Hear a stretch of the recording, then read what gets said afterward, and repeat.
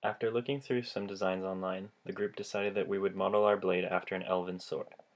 The shape and dimensions of the blade were determined as well as the aesthetic features and the materials and processing required for the fabrication of the blade.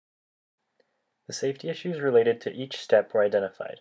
It was also ensured that the individuals participating in each step had access to the proper personal protective equipment. We had two steels to choose from, a 1018 purchased from a metal supermarket and T95 collected from a broken tensile specimen. T95 was selected due to its high strength and corrosion resistance. One half of the tensile specimen was to be used to make the blade, while the other half was to be used for metallographical analysis and for the tests required to determine the optimal heat treatment. Using online literature, we determined that the desired hardness would be around 50 to 60 Rockwell C, and discussions with Drs. Chen and Wiskel of the University of Alberta determined that a microstructure of tempered martensite would achieve a balance between hardness and ductility. With the blade designed and the desired properties identified, we were ready to begin forging. Forging began by heating the steel up to the point that it was glowing. This was achieved through the use of a coal forge. Here you see Mike pumping oxygen into the coals while the metal heats up. Once the metal was sufficiently hot and malleable, we were able to begin forming.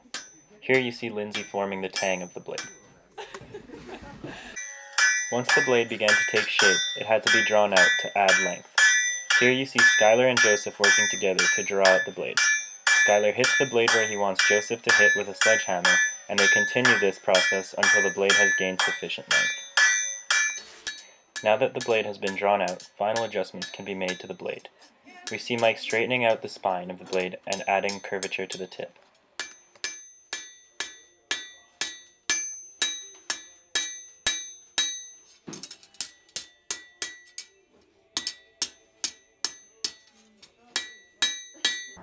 Finally, the blade had to be quenched in order to form martensite. This was done in a large can of water. With the shape of the blade finished, we were ready to move on to the heat treatment and aesthetics.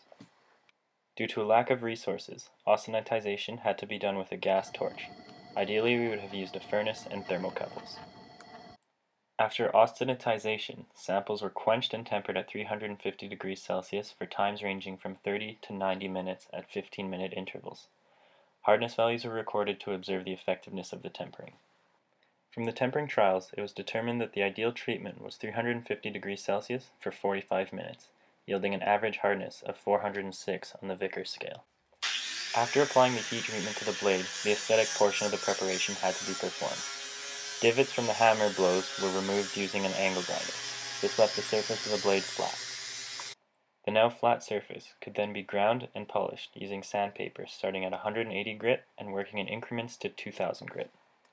The polished blade was then covered in wax and the design was carved out, making sure to expose the metal underneath.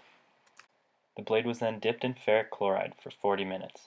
After the time had elapsed, the wax was removed using boiling water, revealing the etched pattern on the blade.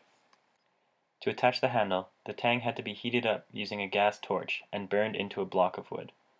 This process ensured a tight-fitting handle that did not require any adhesives. Now that the block of wood had been attached, the first step was to trim it to size using a hacksaw.